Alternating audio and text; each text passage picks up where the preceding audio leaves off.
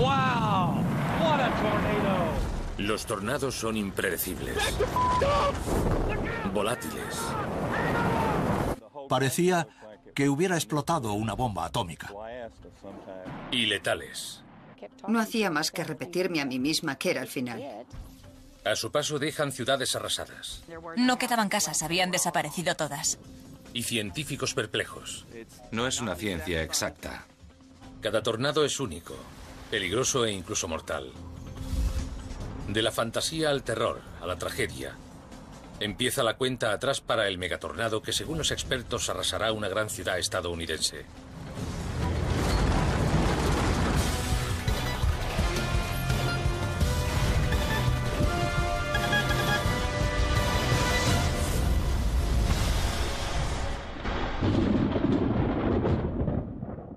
Cuando una oscuridad apocalíptica oculta el cielo, la llegada de un tornado es inminente.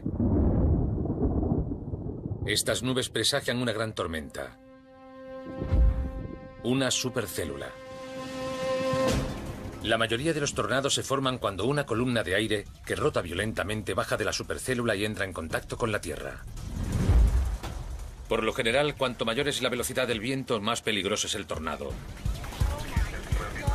Sorprendentemente se sabe poco de estos gigantes asesinos. Los científicos corren literalmente en pos de los misterios de los tornados a través de las grandes praderas norteamericanas, territorio también conocido como Tornado Alley, el corredor de los tornados.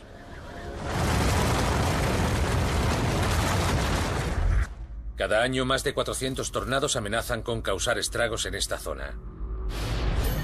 Más que en cualquier otro lugar del mundo. El motivo, las condiciones atmosféricas ideales para los tornados. Las montañas al oeste, el Golfo de México al sur y el hecho de que no haya barreras físicas desde aquí hasta el Polo Norte significa que tenemos masas de aire cambiando frecuentemente de temperatura, calentándose, enfriándose y volviendo a calentarse. La fuerza de los tornados se mide con la escala Fujita, que recibe su nombre de Theodore Fujita, quien clasificó la fuerza de los tornados calculando la velocidad del viento según los daños causados. Los tornados más pequeños, como los F0, pueden alcanzar los 117 kilómetros por hora, el equivalente a un huracán pequeño. En el otro extremo de la escala están los F6. En ellos, el viento alcanza velocidades de hasta 550 kilómetros por hora.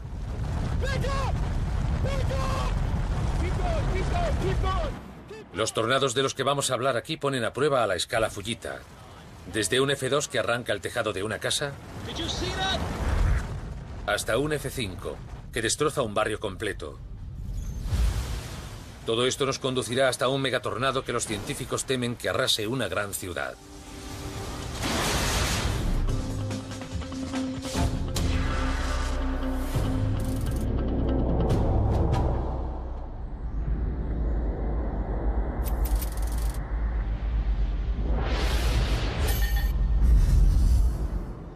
111 kilómetros al sureste de Wichita, en el estado de Kansas, se encuentra la pequeña ciudad de Attica, con poco más de 600 habitantes. No es un lugar fácil de encontrar. Sin embargo, el 12 de mayo de 2004 un tornado no tuvo problemas para hacerlo. Ese día el cielo azul del condado de Harper se llenó de nubes de tormenta. Poco después de las 6 de la tarde, Dan Smith Heisler se dirigió hacia Attica. Fui a hacer un trabajo para el banquero y le dije a su mujer, se acerca una tormenta. Varias tormentas se formaron sobre el sur de Kansas. Con solo mirarlas, el veterano meteorólogo Chuck Doswell habría sabido que eran un caldo de cultivo perfecto para los tornados. Uno de los ingredientes principales para que se produzca casi con seguridad un tornado es que el viento en las capas inferiores cambie rápidamente de dirección y velocidad según la altura. Es lo que llamamos cizalladura vertical del viento. La cizalladura vertical del viento hace girar el aire en un cilindro invisible. Al aumentar la velocidad del viento, el cilindro se yergue, el tornado se intensifica y en su interior la presión atmosférica disminuye. La condensación producida por las bajas presiones se acumula y el tornado se hace visible. Eso es exactamente lo que estaba ocurriendo en el sureño cielo de Kansas. Mike Lorek, director del Servicio de Emergencias del Condado de Harper, recibió el primer aviso de tornado a las 6 y 45. Cuando llegaron los avisos, decidimos que había que alertar a la población. No sabíamos si iba a ser un tornado F0 o se iba a convertir en un monstruo. En Kansas, los meteorólogos siguen la tormenta mientras se acerca peligrosamente a Attica. Aproximadamente a las 7 y 25 de la tarde, un tornado F2 entró en contacto con el suelo. Aquí, en esta colina de aquí. El camino iba justo por aquí. Ante la mirada estupefacta de Lorek, el tornado arrancó el tejado de una casa. Oh my God. Oh my God.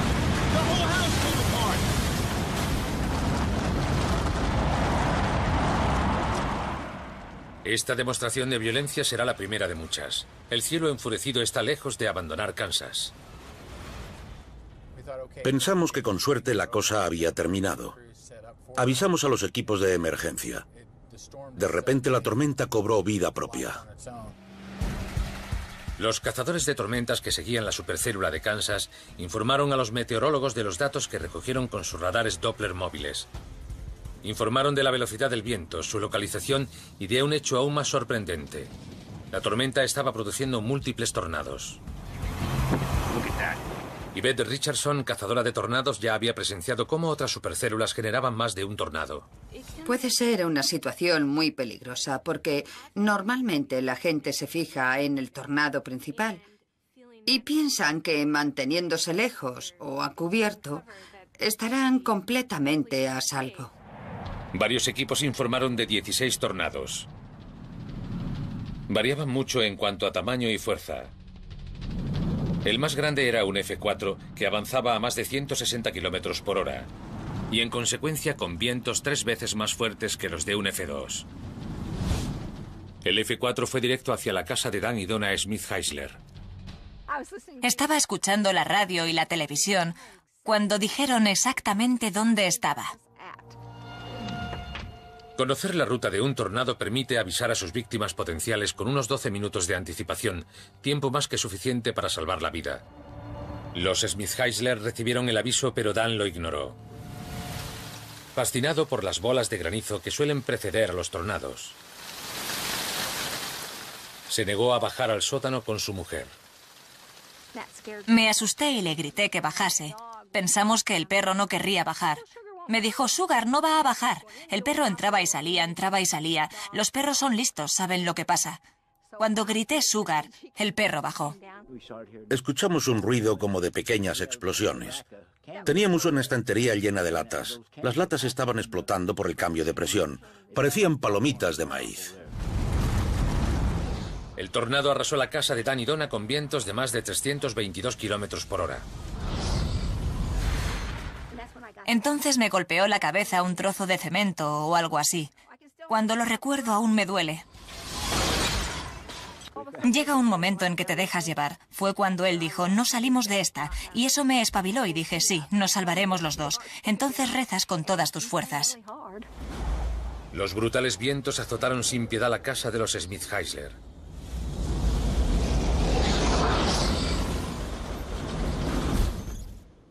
Cuando cesaron, la pareja salió del sótano y se encontró en un campo de batalla.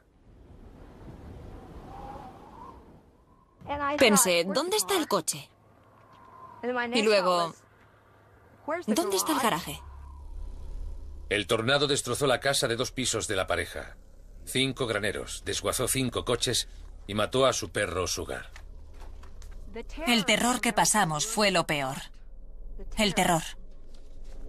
Los Smith Heisler tienen suerte de estar vivos. Con vientos de casi 400 kilómetros por hora, aquel tornado F4 arrasó su casa fácilmente. Pero incluso el F2 previo, con vientos de 240 kilómetros por hora, fue capaz de arrancar el tejado de esta casa.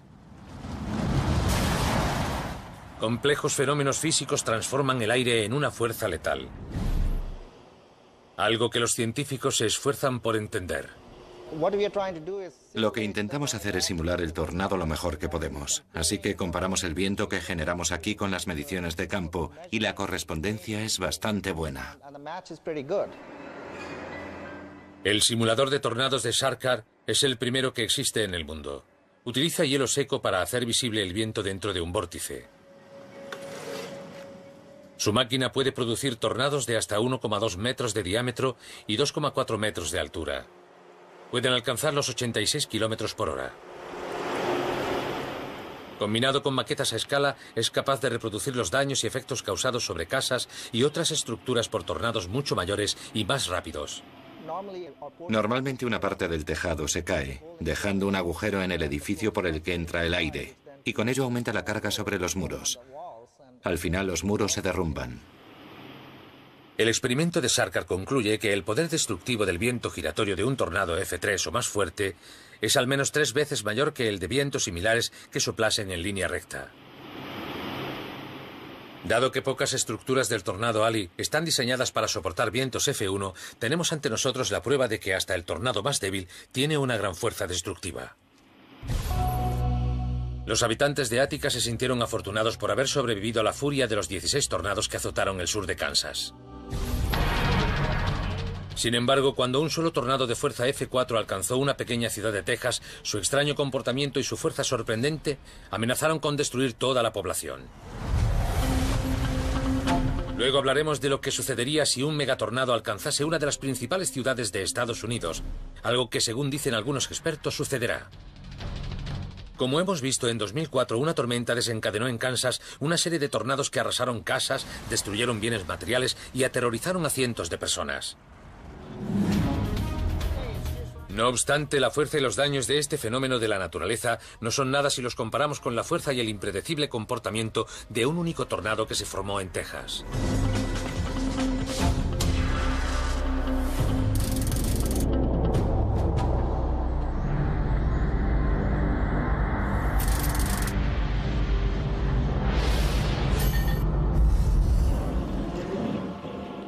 Pampa, en Texas, es un lugar favorecido por la suerte.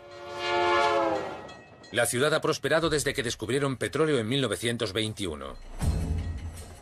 Actualmente sus 17.000 habitantes trabajan en la industria petrolera y en la ganadería. Sin embargo, la localización de la ciudad en la zona estrecha de Texas es un gran defecto. Estamos en la tierra de los tornados.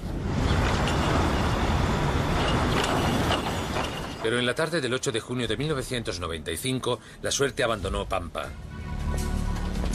Randy Stubblefield lleva toda su vida en esta ciudad. En sus dos años como sheriff, ha sido testigo de muchos hechos violentos, pero nada que se pueda comparar a lo que estaba a punto de ver.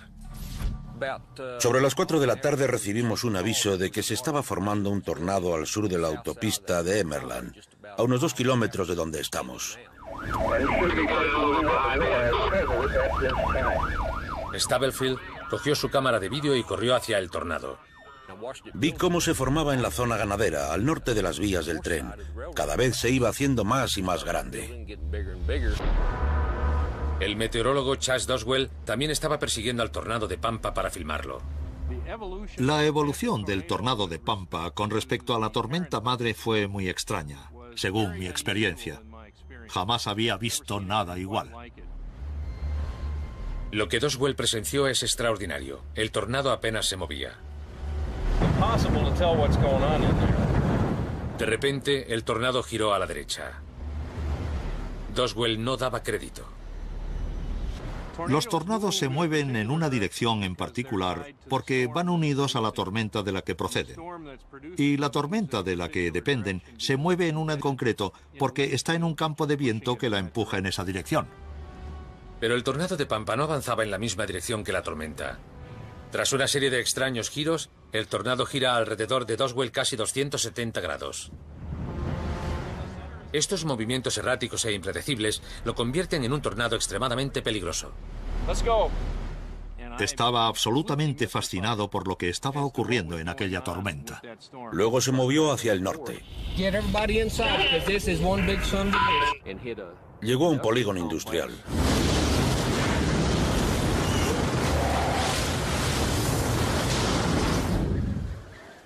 Belinda Waldrap trabajaba en el polígono con su padre y no había escuchado las noticias.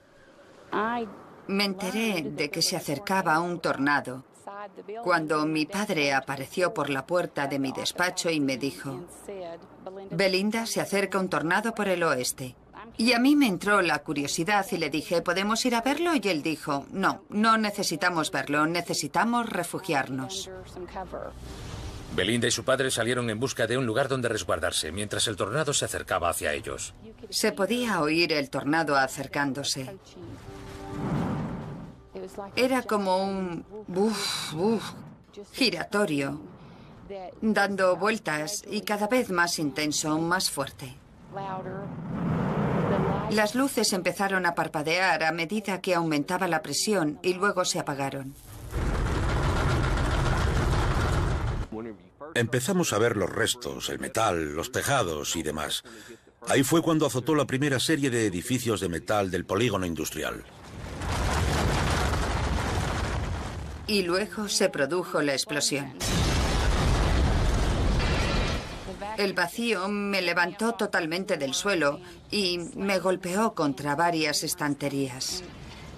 Me vapuleó como una muñeca de trapo. Vimos cómo volaban los vehículos, los contenedores y los camiones con remolque, que vacíos pueden pesar unos 10.000 kilos, fueron arrastrados por el tornado y daban vueltas y más vueltas. Stablefield y Doswell son de los pocos que han logrado filmar un tornado levantando camiones de varias toneladas. Se trató de un tornado de una fuerza extraordinaria, y Belinda quedó atrapada en su furia. Cuando estaba en su interior, todo estaba oscuro. Intentaba mantener los ojos cerrados para protegerlos. No dejaba de repetirme, se acabó. Me sentía impotente porque no hay nada que puedas hacer. Vamos, que no lo puedes parar de ninguna manera. Es para ponerse enfermo. Me lanzó al aparcamiento. Caí boca arriba y vi las nubes y el tornado. Parecía un fantasma blanco marchándose y despegando. El encuentro de Belinda con el tornado había terminado. El de Randy no había hecho más que empezar. Me di cuenta de que iba hacia la ciudad de Pampa. Stablefield subió a su coche y tomó la carretera directo hacia el tornado. Uno de mis oficiales me llamó y me dijo, ten cuidado, te estás acercando demasiado. Sabes cuando estás demasiado cerca porque los restos empiezan a caer sobre el coche. Llevaba las ventanas abiertas y la basura del aire empezó a entrar en el coche. Iba directo hacia la oficina del sheriff y el centro de la ciudad. Tenía a unos 65 prisioneros en la cárcel. Teníamos un edificio grande y fuerte, pero el tornado también lo era. El tornado entró en Pampa destruyendo o dañando 200 casas y 50 locales comerciales. De casi todos los edificios del polígono industrial no quedaron más que los cimientos. Belinda estaba gravemente herida y conmocionada. Por supuesto, estaba aturdida, adormecida. No sentía nada. Pensaba que debía tener las piernas rotas. No podía recoger mis cosas porque no quedaba nada. No reconocía nada a mi alrededor y estaba abrumada. Belinda se temía lo peor y empezó a buscar a su padre desesperadamente. Estaba debajo de un motor y parecía muerto. Estaba inconsciente, no se movía. Conseguí llegar hasta él y empecé a moverlo. Recuperó el conocimiento y giró la cabeza. Tenía mucha sangre y los ojos muy abiertos, con una mirada aterrorizada que jamás olvidaré. Inmediatamente dijo, ayúdame a levantarme, ayúdame a levantarme. No puedo ayudarte, porque yo tampoco me puedo levantar. El personal del servicio de emergencias llevó a Belinda y a su padre al hospital. Los dos estaban muy graves. Otros cinco vecinos también sufrieron heridas. Milagrosamente no hubo que lamentar víctimas mortales. Mientras los heridos se recuperaban, los expertos estudiaron las imágenes de Stablefield y Doswell. Para tambalear un camión que pesa varias toneladas, arrastrarlo por el suelo y levantarlo en el aire hace falta una velocidad increíble, más de 240 kilómetros. Dave Llewellyn investiga las complejas fuerzas que actúan en el interior de los tornados. En un tornado el viento no solo gira alrededor, sino también en espiral hacia adentro, con fuerza. Llewellyn cree que una vez que un objeto como un vehículo es levantado en el aire, puede ser golpeado contra el suelo por la corriente interior y luego volver a subir por las corrientes que van hacia arriba. Este ciclo brutal deja los restos irreconocibles antes de escupirlo fuera a la velocidad de un misil.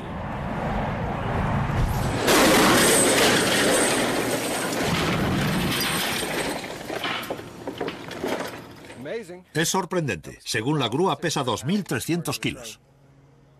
En la Universidad de Clemson, Scott Schiff y su equipo estudian los daños que un tornado puede ocasionar en un coche. Estamos poniendo a prueba la losa del techo. Esto se diseñó para servir de refugio. Es una losa de 25 centímetros de hormigón macizo con doble refuerzo de acero. Con ese refuerzo está diseñada para soportar el impacto de grandes objetos.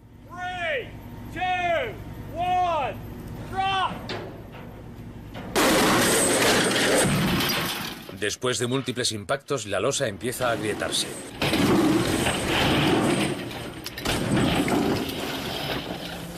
Tras el último impacto, hay una deformación permanente en la losa. El refuerzo que hay dentro de la losa ha empezado a ceder por efecto de la carga y empezamos a ver cómo cae el cemento.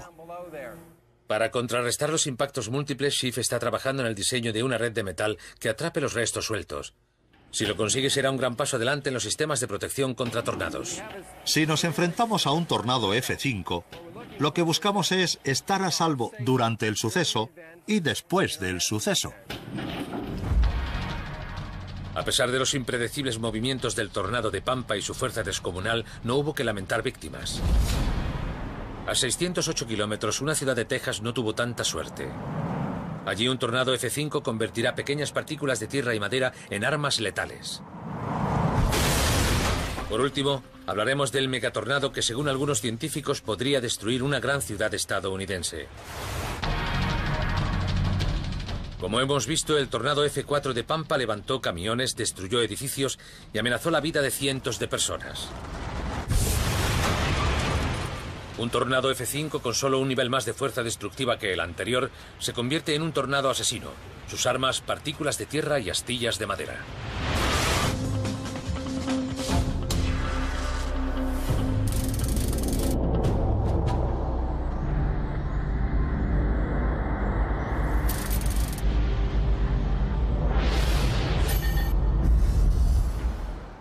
La tejana ciudad de Jarrell fue fundada en 1909.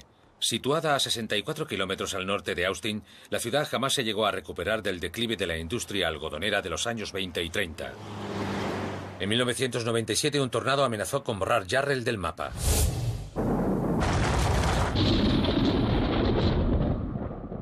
Desde el primer momento el tornado de Jarrell tenía algo extraño. El 27 de mayo se formó una supercélula sobre el centro de Texas. El tornado de Jarrell es notorio por dos cosas. Una de ellas es que se formó en condiciones que en aquel momento nos parecieron insólitas. La enorme supercélula carece de la cizalladura vertical del viento, un ingrediente típico en la formación de los tornados. El meteorólogo Bill Gallas enseña a predecir tornados con un simulador de realidad virtual. Para que un tornado se forme en la naturaleza hacen falta dos cosas. Una gran fuerza ascendente y descendente para extender el aire en una columna vertical y también tiene que haber movimiento giratorio. Normalmente una fuerte cizalladura del viento es lo que confiere al tornado su movimiento giratorio. Antes de Jarrell se creía que sin una fuerte cizalladura del viento no había tornados violentos. Pero las infrecuentes condiciones atmosféricas que se produjeron en el centro de Texas estaban a punto de demostrar lo equivocada que estaba esa idea. Aquí, el aire cargado de humedad sube con tanta fuerza que genera una corriente que desembocará en la creación de un gran tornado muy peligroso.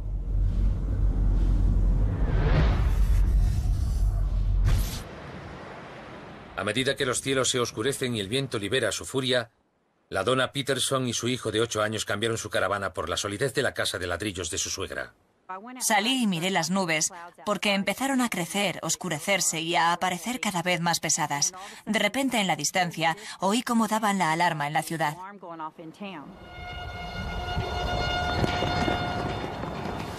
Ken Adams no oyó la alarma porque estaba dormido.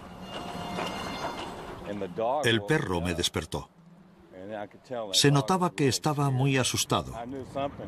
Supe que algo iba mal. No tengo el oído muy fino, pero lo supe. Era como cuando sientes que truena, aunque no lo oigas. La cuñada de la dona y su hija también acudieron a la casa en la que se refugiaba la dona. Según las noticias, el tornado estaba a tres kilómetros. Mi cuñada y yo nos acercamos a la ventana. Se veía el tornado a lo lejos, pero estaba allí quieto, dando vueltas, inmóvil. En realidad el tornado no estaba quieto. Avanzaba a 16 kilómetros por hora. Sin embargo, su velocidad interna superaba los 420 kilómetros por hora. Convertido en un tornado F5, descendió sobre el refugio de las mujeres. De repente sentimos como una ráfaga de aire golpeaba la casa. Vimos como el viento arrancaba el asfalto de la calle. Estábamos sentadas y dije, por favor, Dios mío, no te lleves a mi familia. Y luego el viento volvió a azotar la casa y abrió el suelo del baño. En ese momento sentimos cómo empezaba a entrar el barro y demás. Minutos más tarde, cuando Ken Adams sale de casa para ver por qué ladra el perro, se encuentra cara a cara con una pesadilla.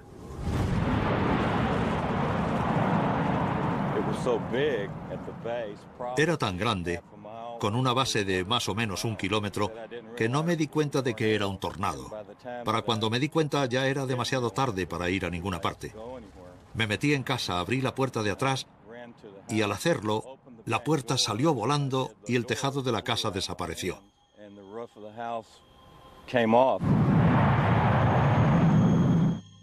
El viento me levantó y la casa me cayó encima.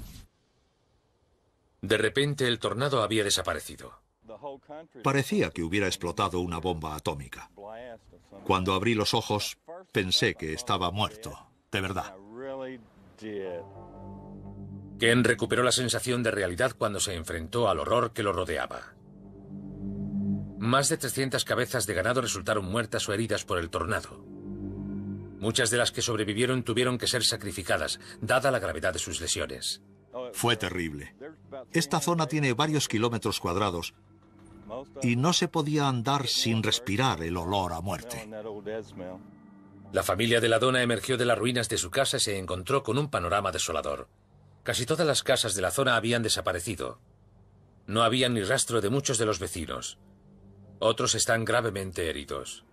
La señora Lafrance estaba atrapada bajo un árbol y su hija estaba tirada en el barro con heridas muy graves en brazos y piernas. Estaba lloviendo y decía que le dolían las heridas abiertas. Lo único que encontré fue una sábana sucia en el suelo. La tapé para protegerle las heridas de la lluvia. Más tarde nos enteramos de que el señor Lafrance murió víctima del tornado. La hija se pasó todo el rato llorando y preguntando dónde estaba su papá. Ese día murieron 27 personas, la mitad de ellas niños. Perecieron familias enteras.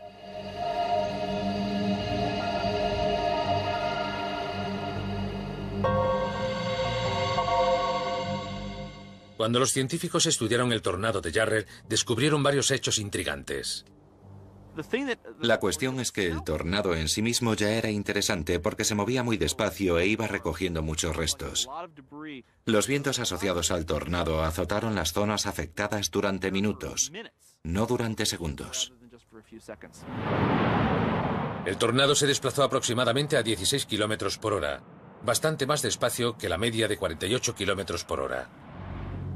Otra de las rarezas es que prácticamente todas las casas que se cruzaron en el camino del tornado quedaron totalmente despedazadas. Después de muchos estudios, los expertos encontraron la explicación.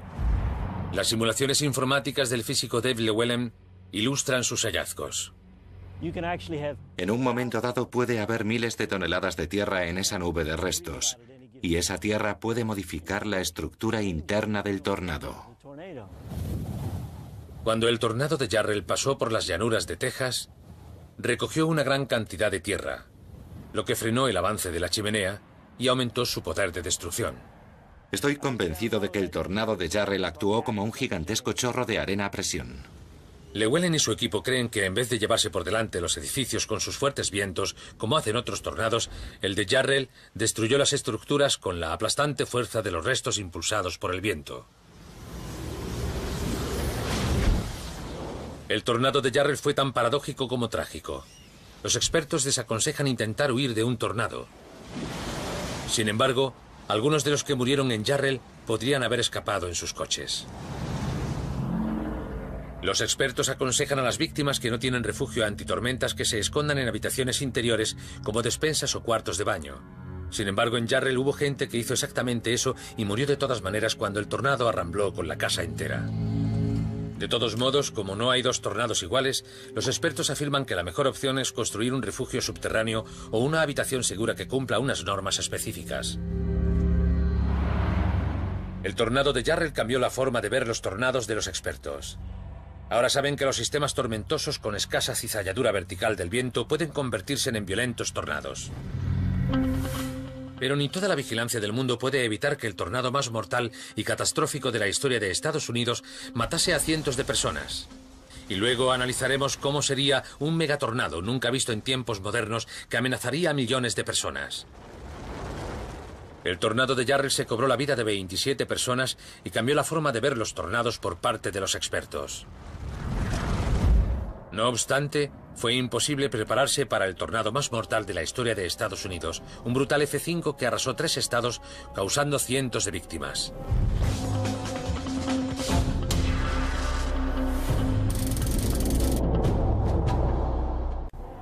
El 18 de marzo de 1925, un único tornado se cobró la vida de 695 personas en Missouri, Illinois e Indiana. Este demoníaco tornado F5 hizo un mortífero recorrido de 322 kilómetros y su frenesí aniquilador duró varias horas. Los relatos de los supervivientes son escalofriantes. El aire se llenó de miles de objetos, tableros, postes, paredes de pequeñas casas de madera. En algunos casos las casas mismas eran levantadas y golpeadas contra el suelo, igual que los seres humanos. Un bebé salió volando de los brazos de su madre. Los niños que me rodeaban tenían cortes y sangraban, lloraban y gritaban. Fue espantoso. La destrucción alcanzó unas proporciones míticas, sobre todo porque el tornado afectó a la gente más vulnerable. La gente no sabía cómo enfrentarse a los tornados. Era una zona más rural que metropolitana y básicamente no tenían medios para comunicarse unos con otros. La ciudad de Murfreesboro, donde murieron más de 100 personas, sufrió los efectos del tornado más de dos horas después de que se produjeran las primeras víctimas. La gente se preguntaba por qué nadie les había avisado por teléfono o por telégrafo de que se acercaba un tornado. En 1925, varios millones de personas vivían en pequeñas zonas rurales en la zona denominada Tornado Alley. Actualmente residen más de 10 millones de personas. Los medios de comunicación modernos permiten alertar mejor a la gente, pero sigue siendo imposible evacuar una ciudad antes de que llegue un tornado F5. El 3 de mayo de 1999 los habitantes de la ciudad de Oklahoma se enfrentaron al peor tornado F5 de la historia contemporánea.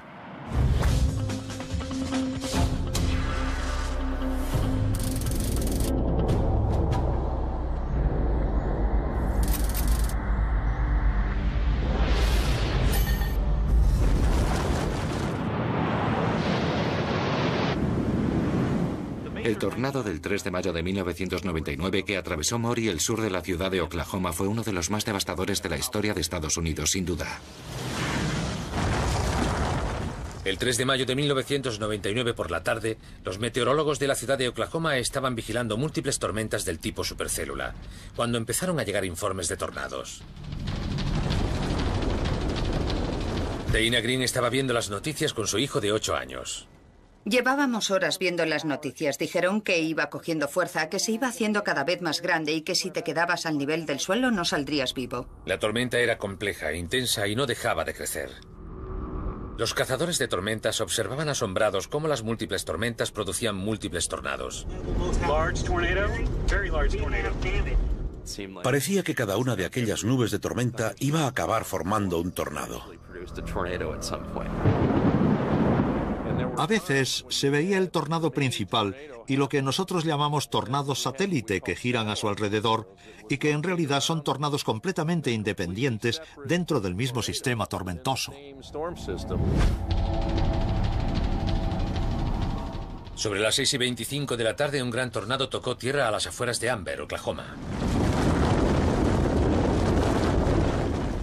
El radar Doppler recoge vientos de más de 512 kilómetros por hora. Es el tornado más rápido jamás documentado. Este monstruo iba directo hacia la casa de Dana Green. Dijeron que tenía más de un kilómetro de ancho y que era bestial. Lo estaba destruyendo todo a su paso. Con la gigantesca pared de viento aullando a 1,6 kilómetros de su casa, Dana y su hijo se escondieron en un armario. Recuerdo que mi hijo gritaba y lloraba. Me preguntó, ¿vamos a estar bien? Le dije que todo iría bien y me dijo, ¿qué hacemos? Rezar, contesté. El temor de Deina se convirtió en pánico cuando oyó al tornado abatiéndose sobre ellos.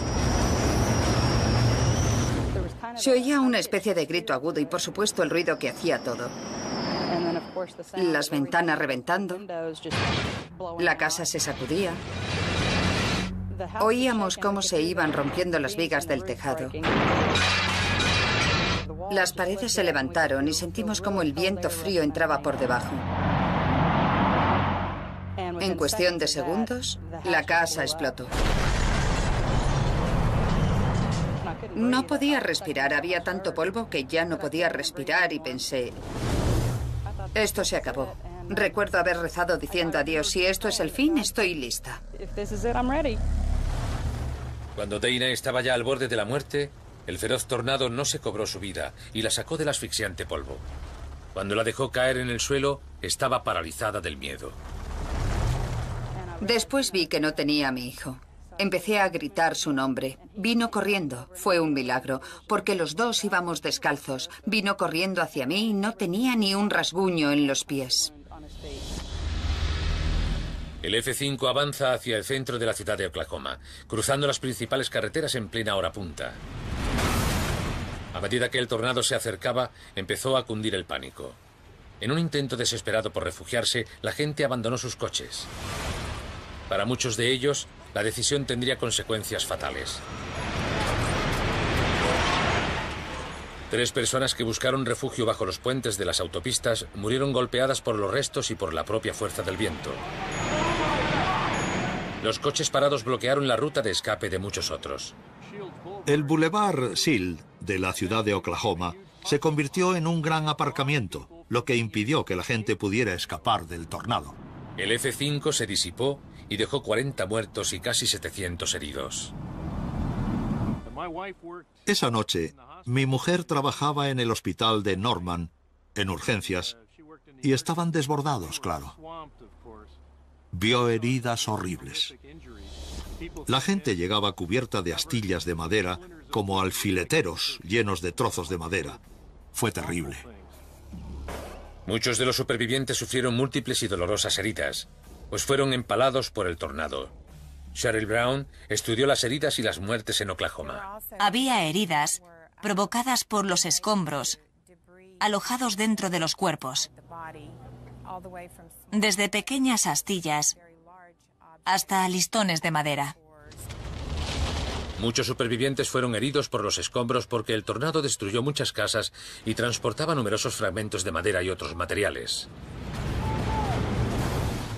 El tornado de Oklahoma destruyó prácticamente 3.000 casas y estructuras.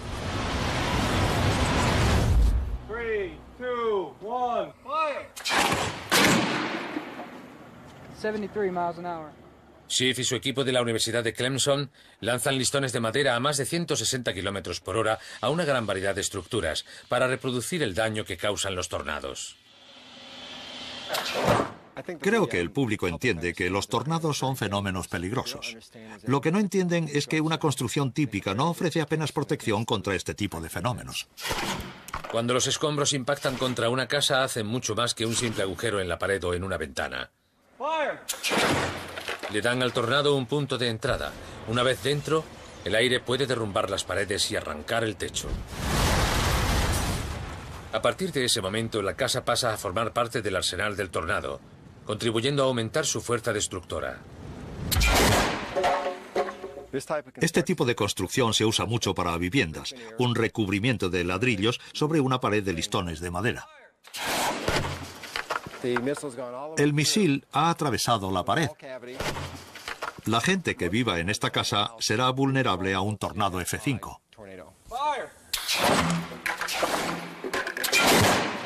Los experimentos de Schiff determinan que para que una casa aguante el azote mortal de los escombros, la capa de ladrillos debería tener detrás una capa de hormigón de al menos 8 centímetros de grosor. Esta pared de aquí sería adecuada para construir un refugio contra los tornados. La mayoría de las casas de la ciudad de Oklahoma City eran de ladrillo y madera. Este tipo de construcción, combinada con el número de casas que arrasó el tornado, aumentó de manera espectacular la cantidad de escombros. Dana Green sobrevivió aunque se rompió la espalda y su hijo sufrió una herida grave en el pecho. Creo de verdad que si el viento no me hubiera lanzado, dejado caer y vuelto a lanzar por segunda vez, me habría ahogado porque ya no podía respirar. Diez tormentas supercélula generaron 70 tornados, incluyendo el F5 que recorrió 24 kilómetros cruzando autopistas interestatales y destrozando muchos barrios de la ciudad de Oklahoma. Fue muy triste. En nuestro barrio murieron 14 personas es un milagro que nosotros sobreviviéramos. El tornado de Oklahoma causó casi mil millones de euros en daños, el tornado más caro de la historia de Estados Unidos. Fue una devastación total y completa. Las casas que ven aquí desaparecieron. Formaban un único montón.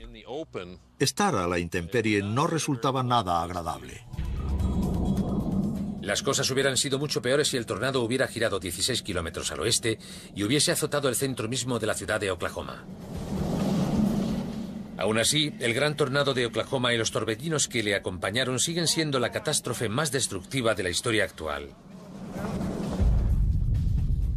Pero no serían nada comparados con un F5 que azotara una de las principales ciudades de Estados Unidos. Ese sería un megadesastre que, según los expertos, podría ocurrir. Cada año los habitantes de Tornado Alley juegan a la ruleta rusa con los tornados que se forman allí. En 1999 la ciudad de Oklahoma se enfrentó a un tornado que mató a 40 personas, dejó casi 700 heridos y supuso unos mil millones de euros en pérdidas.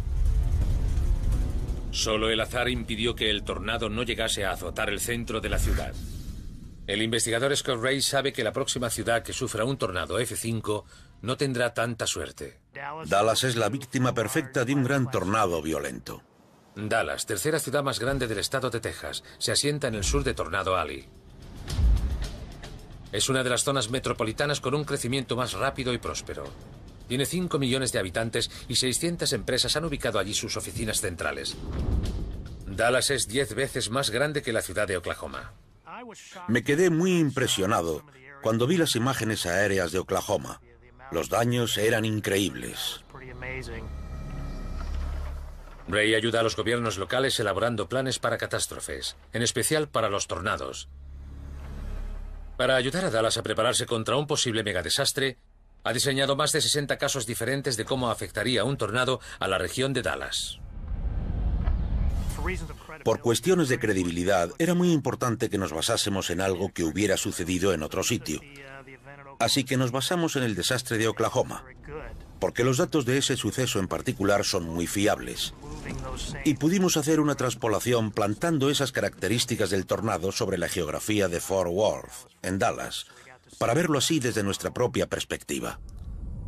Ray y su equipo llevaron a cabo el pesado trabajo de superponer el recorrido exacto del tornado de Oklahoma sobre la zona de Fort Worth, en Dallas. El megadesastre se desata cuando un tornado F5 como el de Oklahoma entra rampante en el centro de Dallas. Podría fácilmente ser el caso más dañino de tornado que hubiésemos tenido en Estados Unidos hasta la fecha.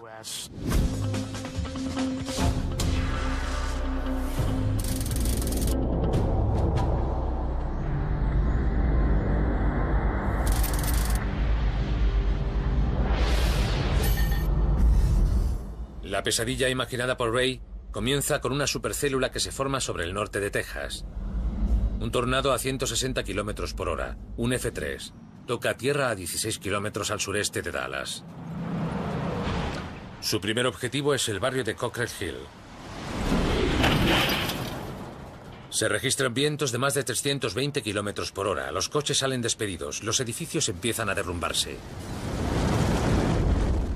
El tornado continúa hacia el noreste y asola a su paso miles de casas. Los vientos internos del tornado superan los 400 kilómetros por hora y alcanza la categoría de F5. Alimentado por toneladas de escombros, el gigantesco tornado frena mientras se cierne sobre una autopista muy transitada. En una carretera en hora punta hay muchas personas.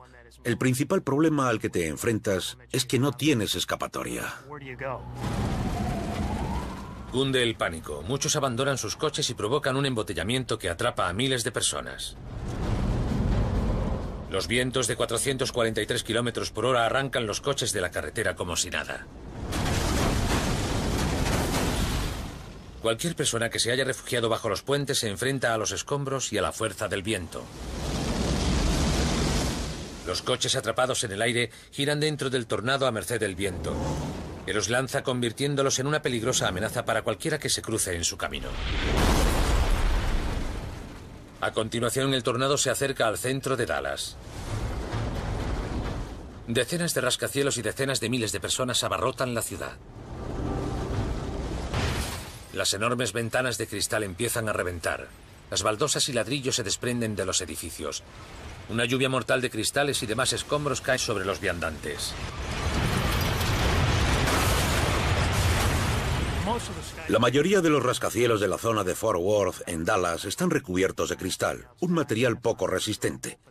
La cantidad de daños producidos por cristales sería espectacular. Un tren abarrotado recorre la ciudad. El viento lo aparta de las vías y lo estrella contra un rascacielos, causando cientos de muertos en el tren y en el edificio.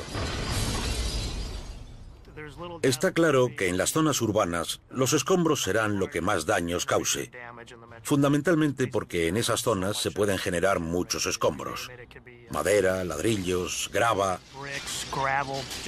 Cualquier objeto puede convertirse en un proyectil y el suministro sería prácticamente ilimitado. El tornado sigue su camino hacia el norte y deja atrás lo que queda de la ciudad de Dallas. Los vientos de más de 500 kilómetros por hora descienden sobre el paisaje suburbano de Lakewood. Las 92.000 personas que viven en esta zona tienen menos de 20 minutos para refugiarse, tiempo más que suficiente para salvar la vida. Sin embargo, al igual que en el tornado de Jarrell en Texas, quienes se oculten en cuartos de baño y armarios lo único que pueden hacer es rezar. Por fin, el peor tornado de la historia asciende lentamente y se disipa. La zona afectada mide 61 kilómetros. Dallas está devastada.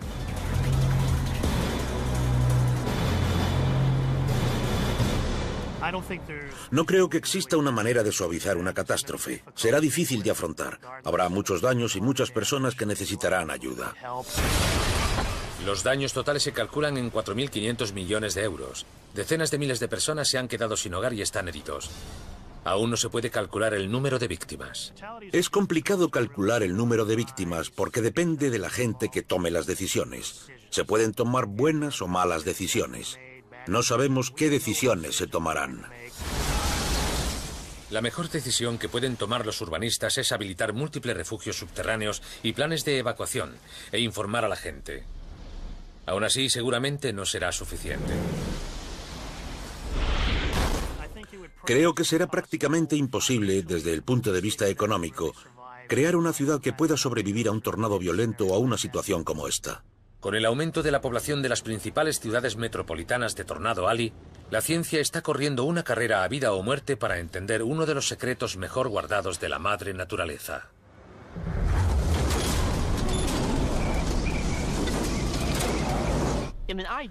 En un mundo ideal, Tendríamos radares u otros instrumentos de medida para cada tornado. En el mundo real, eso es prácticamente imposible. Ojalá pudiéramos decir, esta tormenta va a producir este tipo de tornado durante la próxima hora. Pero aún no estamos en ese punto. Es complicado decir cuándo lo estaremos. Aún nos queda mucho camino por recorrer. Dada la limitada capacidad que aún tenemos para predecir tornados, debemos afrontarlos como un tema sumamente preocupante. Mucha gente piensa en las catástrofes como situaciones aisladas que jamás les pasarán a ellos, y eso también se aplica a los tornados. Si esperamos lo suficiente, veremos cómo se acaba produciendo algo parecido al mayor desastre imaginable.